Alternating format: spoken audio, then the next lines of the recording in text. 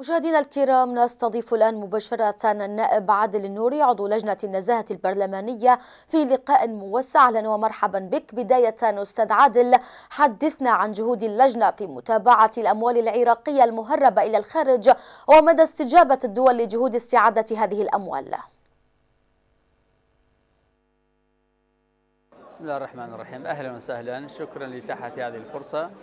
نحن كلجنة النزاهه النيابيه منذ بدا عملنا في الشهر التاسع 2014 قمنا بوضع خطة ومنهاج داخلي وتوزيع اللجان على ملفات الوزارات والوزراء ومن ضمن هذه الملفات ملف غسيل الأموال والتهريب والبنك المركزي وسوق العملة وغسيل الأموال وقمنا ب عقد مجموعة من من الجلسات بمشاركة هيئة النزاهة ودائرة استرداد الأموال في هيئة النزاهة وقاضي محكمة النزاهة وجهاز غسيل الأموال في محكمة النزاهة.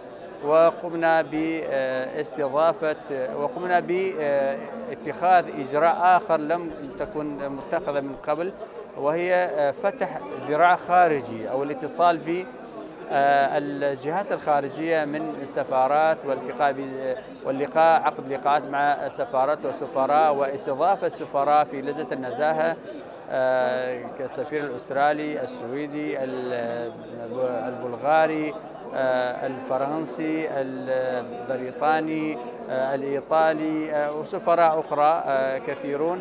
وأنتجت وأثمرت وتوجت هذه اللقاءات بعقد مجموعة من التفاهمات ومخاطبة هذه الدول من خلال سفاراتهم وسفرائهم وتم إجراء زيارة إلى دولة إيطاليا و يعني دخلنا معهم في عمق الموضوع حول كيفية مساعدتنا في تشخيص وكشف واسترداد الأموال المهربة والهاربين من العدالة طبعا نعم. لدينا طبعا الأموال المهربة والهاربين يعني فهنالك تقدم جدا مهم وأثمرت هذه الجهود أيضا في جد شيء جدا مهم إصدار تشريع من قبل مجلس العموم البريطاني في تقريبا قبل شهرين باسترداد الأموال المهربة العراقية مع العلم. يعني هنالك الكثير من هذه الأموال هربت إلى بريطانيا لأن المسؤولين الحاليين يملكون كثير منهم مع الأسف الشديد. يعني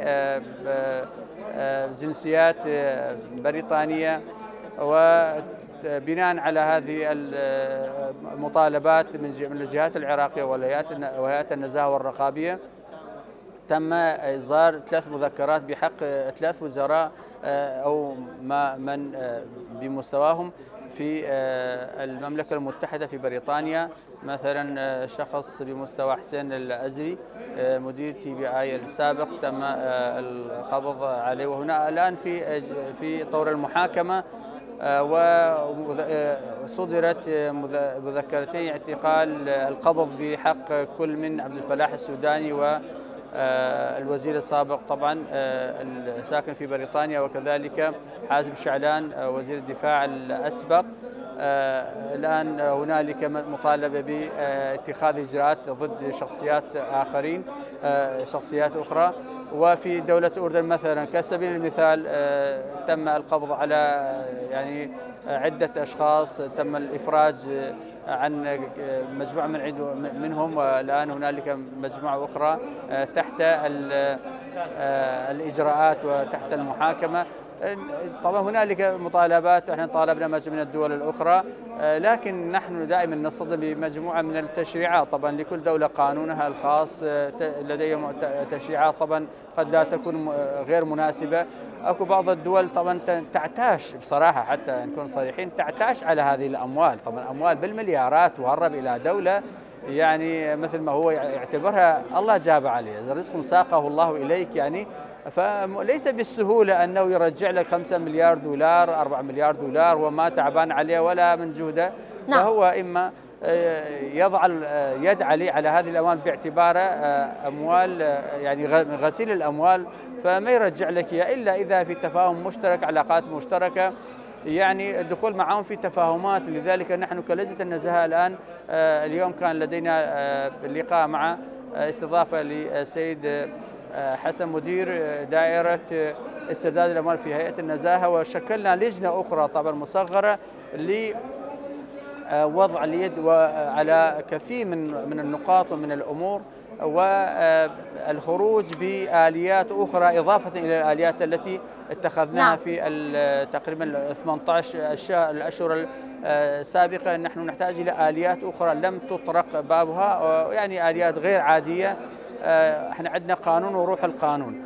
نحن ندخل في مع هذه الدول من جانب التفاهمات لأن بصراحة يعني التشريع والقوانين يحتاج إلى مدة.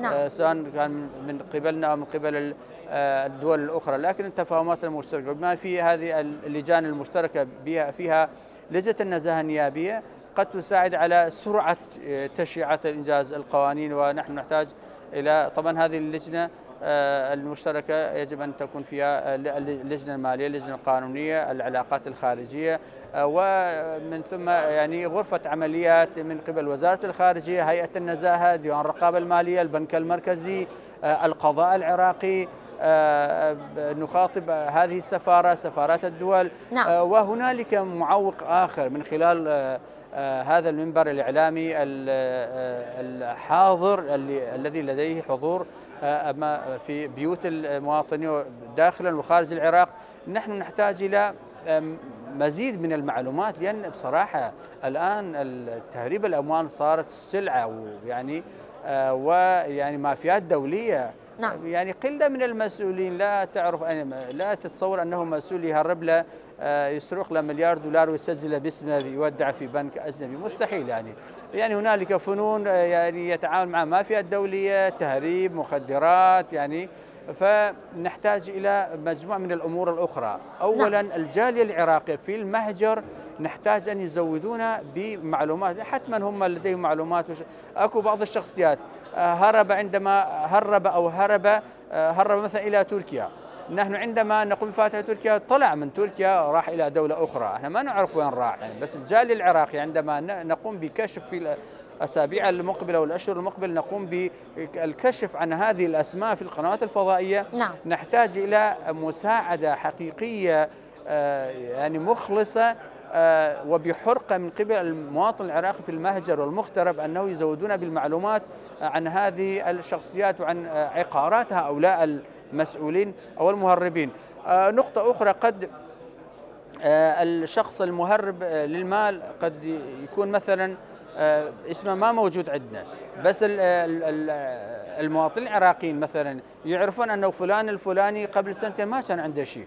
فلان دولة ما كان لكن الآن يمتلك نعم. مطاعم يمتلك استثمارات يمكن بنوك نحن لدينا ليست لدينا هذه المعلومات لكن المواطن العراقي يجب أن يرصد من المنطلق الوطني والحرص والإخلاص يرصد أملاك وأموال هذه الأشخاص ويزودوننا ب الأسماء نعم والأملاك. طيب أستاذ من خلال عملكم في اللجنة هل تعرضتم لضغوطات من قبل شخصيات أو كتل سياسية أو أحزاب وكيف تتعاملون مع مثل هكذا أمور في حال حدوثها أو في حال ورود أسماء معروفة بعمليات تهريب أموال؟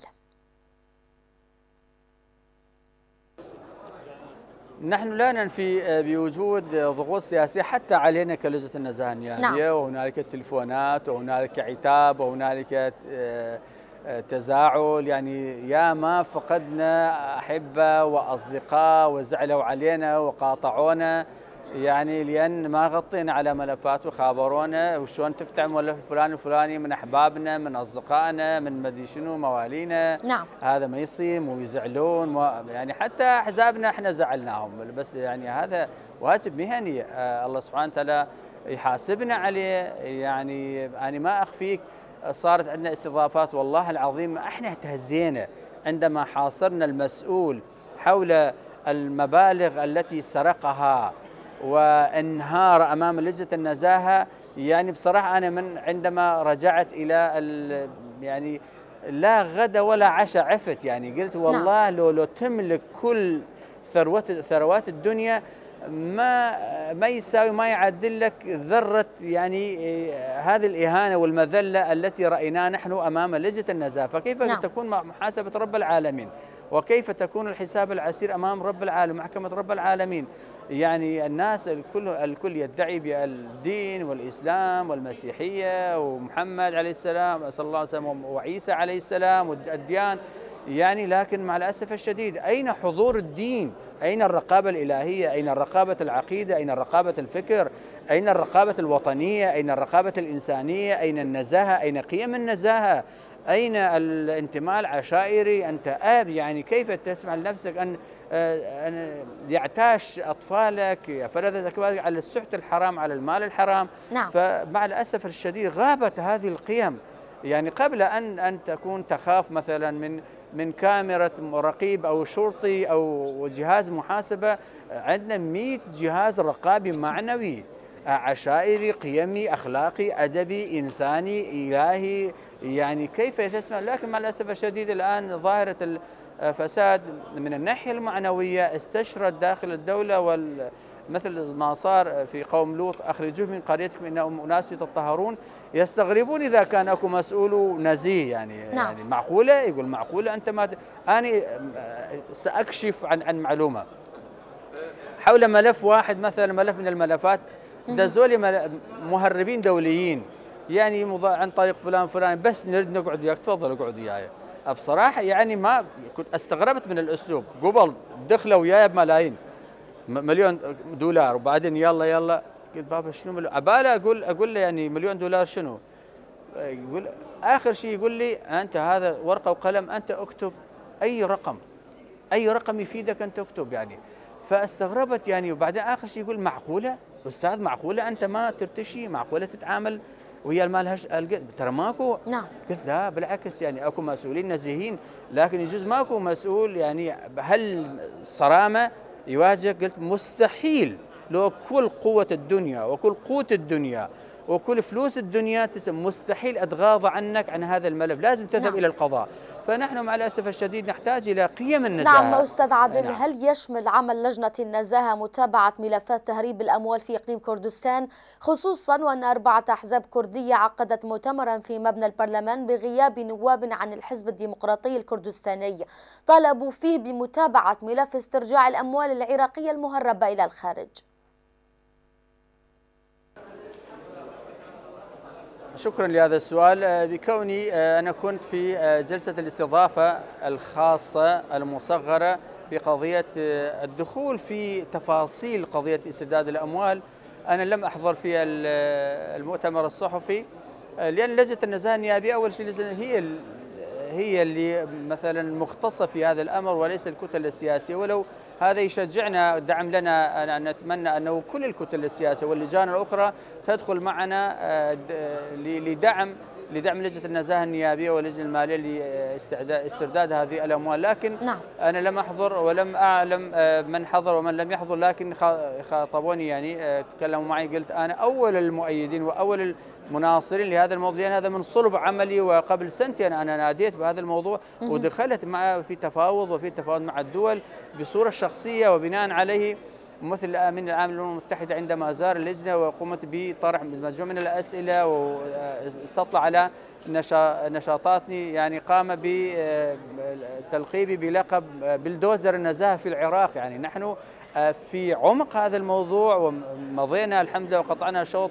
جيد. أما من حضر ومن لم يحضر لا أعرف ولا ليس لي علم لماذا لم يحضر الحزب الديمقراطي الكردستاني أعضاء قد يكونون غير مثلا مبلغين أو ما لا, لا علم لدي. يمكن توجيه السؤال لهم لكن قطعا هنالك أموال مهربة وبالمليارات أيضا من إقليم نعم. كردستان ونحن نتابع هذه الأموال أيضا.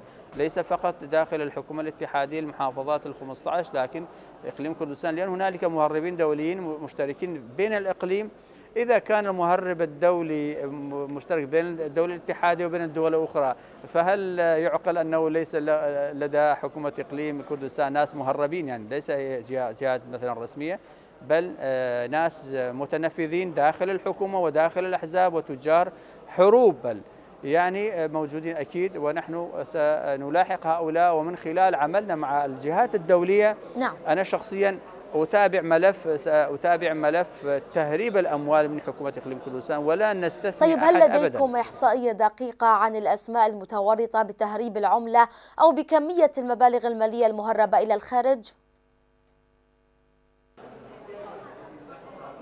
إن شاء الله خلال الأسابيع المقبلة سنبرز للإعلام بتقرير مفصل. الآن أنا ذكرت طبعا بعض الأسماء في بريطانيا وفي بعض الدول أيضا وبعض المبالغ وبعض الأحكام وبعض يعني على سبيل المثال لكن كحصر لا يعني هنالك طبعا معلومات أخرى خلال لقاءاتنا المقبلة تقريبا في غضون أسبوع إلى عشرة أيام. نعم.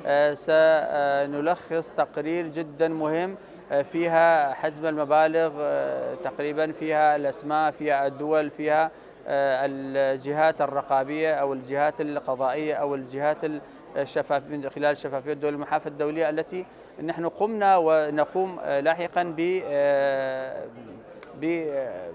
بمفاتحتها نعم. وطبعا نحن قمنا في الأيام الماضية ب توجيه كتب إلى كل السفارات الأجنبية في العراق وسفارتنا نحن في الدول الأخرى والجهات الرقابة داخل العراق وخارج العراق لتزويدنا بكافة المعلومات الممكنة لديهم الموجودة لديهم والممكنة التي يستطيعون الحصول عليها ومن نعم. خلال الإعلام أكرر دعوتي إلى كل المواطنين العراقيين في المغتر وفي المهجر أن يكونون أن يكونوا يعني أذرع للجنة النزاهة النيابية ويزودوننا بمعلومات حول الأموال نعم مع عضو لجنة النزاهة الأستاذ عادل النوري شكرا جزيلا لانضمامك إلينا.